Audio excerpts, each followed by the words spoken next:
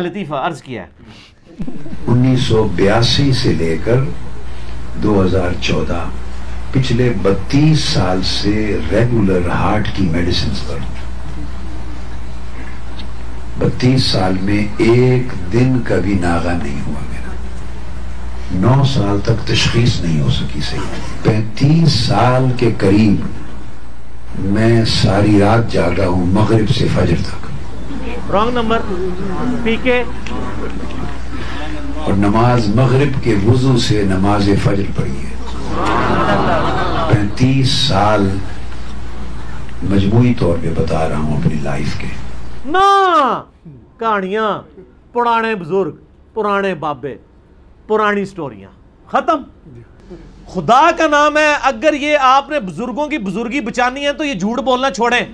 یہ حرام ہے اس طرح کرنا۔ کہ کوئی رات پوری رات جاگا رہے۔ السلام علیکم۔ ناظرین گرامی، آپ نے سنا کہ تیل قادری صاحب، میں ان کی بہت عزت کرتا ہوں۔ وہ فرما رہے ہیں کہ میں نے زندگی کے پینتیس سال بیماری میں بھی، بیماری کے باوجود بھی مطلب بیمار تھا، مغرب کے وضو سے فجر کی نماز پڑھی۔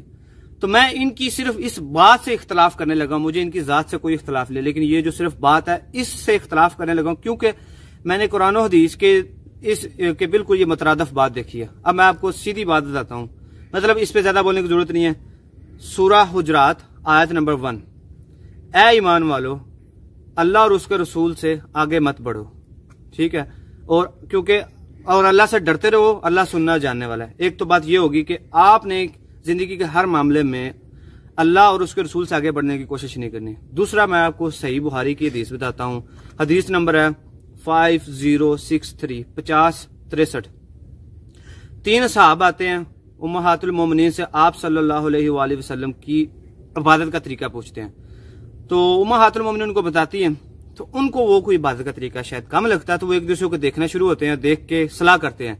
ایک کہتا ہے کہ میں پوری زندگی رات کو جاگ کے نماز پڑھوں گا۔ دوسرا کہتا ہے، میں پوری زندگی روزے رکھوں گا، اس میں ناگا نہیں کروں گا۔ تیسرا کہتا ہے کہ میں پوری زندگی جو ہے نا عورتوں سے دوری اختیار کروں گا اور نکاح نہیں کروں گا۔ اس پر آپ صلی اللہ علیہ وسلم آتے ہیں اور پوچھتے ہیں کہ آپ لوگوں نے یہی کہا ہے؟ وہ کہتے ہیں ہاں۔ تو آپ صلی اللہ علیہ وسلم کہتے ہیں کہ اللہ کی قسم، میں تم تینوں سے زیادہ اللہ سے ڈرنے والا ہوں اور میں تم تینوں سے زیادہ پرہیزگار ہوں۔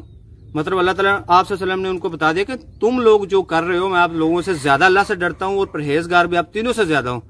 میں رات کو نماز پڑھتا بھی ہوں، سوتا بھی ہوں۔ میں روزے رکھتا ہوں، افطار بھی کرتا ہوں۔ مطلب میں روزے، نفلی روزے رکھتا بھی ہوں اور چھوڑتا بھی ہوں۔ اور میں نے نکاح بھی کیے ہوئے ہیں۔ تو پھر آپ صلی اللہ علیہ وسلم نے اتنے سخت الفاظ آگے بولے ہیں کہ جس نے میری سنت سے بے رغبتی اختیار کی مطلب جس نے میری، میرے، سوری، جس نے میری طریقے سے بے رغبتی اختیار کی، وہ مجھ سے نہیں ہے۔ اتنے سخت الفاظ ہیں۔ اب دیکھیں، یہ والی جو چیز ہے، چلو قادری صاحب جو بیان کر رہے ہیں کہ میں پوری رات مطلب جاگتا رہا ہوں۔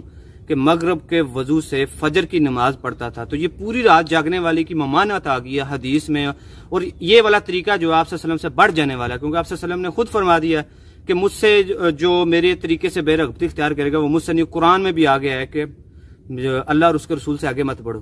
یہ تعلیم کہیں بھی نہیں آپ وسلم نے فرمایا کہ پوری رات جاگو۔ یا پھر وہ علی بھائی والی بات کر دوں گا، ایسے ہو سکتا ہے کہ تیرو قادری صاحب مغرب اور عشاء کی نماز کو کٹھے کرتے ہوں اور فجر بالکل جب قریب ہو مطلب فجر کا وقت داخل ہونے والا ہو تب وہ وضو کر کے مطلب مغرب اور عشاء کی نماز پڑھ کے ساتھ ہی فجر کی پڑھ دیتے ہوں۔ ایسے پاسبل ہو سکتا ہے۔ ویسے پینتیس سال یہ پاسبل نہیں ہے۔ یہ اب آپ کو اپنی ینگ جنریشن کو اس اعتبار سے ایجوکیٹ کرنا پڑے گا۔ آپ کی ینگ جنریشن آپ سے پوچھے گی جی۔ کہ یہ کہانیاں کیوں ہیں۔ اب آپ دیکھ رہے ہیں آپ کی ینگ جنریشن آج بیٹھی ہوئی ہے آج کل سوشل میڈیا پہ اور کس طرح دین کا مذاق اڑایا جا رہا ہے۔ اس میں میں مجرم علماء کو سمجھتا ہوں سر جب آپ لولا لنگڑا دین دیں گے نا تو آپ کے دین کا مذاق اڑے گا۔ تو سر پھر اس لیے لوگ تو انجینئر صاحب تک پہنچ رہے ہیں نا۔ اب تو دو ہی گروہ ہیں۔ یا وہ ہیں جو مسلمان ہو چکے ہیں عام مسلمان علمی کتابی۔ یا وہ ہیں جو دین سے پھر متنفر ہو چکے ہیں۔ اور آپ دیکھیں گے کہ گلی گلی سے انجینئر نکلے گا اور گلی گلی میں یہ نعرہ ہوگا۔ کیا؟ نام ہے بابی۔ نام ہے بابی۔ میں ہوں مسلم علمی کتابی۔ یہ اختلاف میں نے تارو قادری صاحب سے اس لیے کیا ہے کہ آج کی نوجوان نسل جو ان کے آگے بھی بیٹھے ہوں گے ماشاءاللہ اور جو ان کو سنتے ہیں، سب نے کہا سبحان اللہ مطلب اب کوئی اس کو عبادت اور دین کا حصہ سمجھ کے اپنی زندگی کا حصہ نہ بنا لے، یہ آپ صلی اللہ علیہ وسلم کے سے آگے بڑھ جانے والی بات ہے اور آپ صلی اللہ علیہ وسلم کے طریقے سے ہٹ جانے والی بات ہے اور جو آپ صلی اللہ علیہ وسلم کے طریقوں کو بدلنے والی بات ہے۔ تو میں اس لیے یہ اختلاف کیا اور ایک نصیحت بھی چھوڑ رہا ہوں نوجوان نسل کے لیے کہ پوری پوری رات جا کے نماز پڑھنا کوئی عبادت نہیں۔ یہ آپ وسلم کے طریقے سے ہٹ کر ہے اور آپ سے سے بڑھ جانے والی بات ہے۔ اس لیے میں نے تعلق قادری صاحب سے یہ اختلاف کیا اور آپ لوگوں کو یہ نصیحت کر رہا ہوں کہ یہ طریقہ اپنے پرانے کی ضرورت نہیں۔ یہ کوئی دین کا حصہ نہ سمجھا جائے اس کو کہ پوری رات جاگنا یا پوری زندگی روزے رکھنا یا جو ہے نکاح نہ کرنا، یہ دین کے حصے نہیں ہے یہ آپ وسلم کے جو بے رغبتی ہے آپ کے طریقے سے۔ تو میں بس یہ نصیحت کے طور کے آپ یہ اختلاف بھی رکھا ہے اور علمی اختلاف رکھا ہے اور آپ کے لیے نصیحت بھی چھوڑ رہا ہوں کہ جزاک اللہ خیرہ